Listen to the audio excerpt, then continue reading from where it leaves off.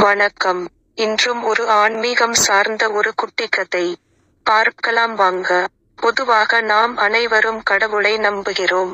ஆனால் நாம் அவரை சரணடைகிறோமா? வாரும் ஒரு குட்டி கதை மூலம் பார்க்கலாம். ஒரு நபர் இரண்டு உயரமான கம்புகளுக்கிடையில் கட்டப்பட்ட கயிற்றில் நடக்க ஆரம்பித்தார். அவர் கைகளில் ஒரு நீண்ட குச்சியை சமன் செய்து கொண்டு மெதுவாக நடந்து கொண்டிருந்தார்.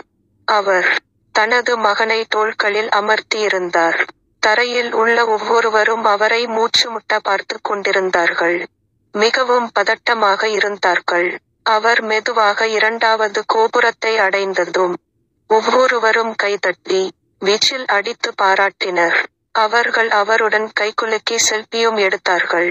அவர் கூட்டத்தினரிடம் கேட்டார் இந்த பக்கத்திலிருந்து அந்த பக்கத்திற்கு இப்போது அதே கயிற்றில் நான் திரும்பி நடக்க முடியும் என்று நீங்கள் அனைவரும் நினைக்கிறீர்களா என்று. அனைவரும் ஒரே குரலில் ஆம் ஆம் உங்களால் முடியும் என்று கத்தினார்கள். நீங்கள் என்னை நம்புகிறீர்களா? என்று அவர் கேட்டார்.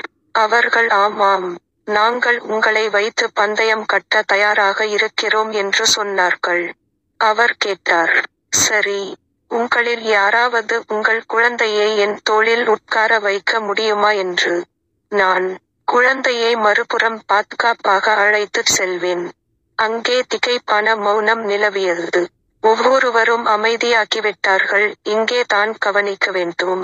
நம்பிக்கை என்பது வேறு சரணாகதி என்பது வேறு. சரணாகதி என்றால் நீங்கள் முற்றிலும் சரணடைய வேண்டும். இன்றைய உலகில் நாம் கடவுளிடம் சரணடைய மறுக்கிறோம்.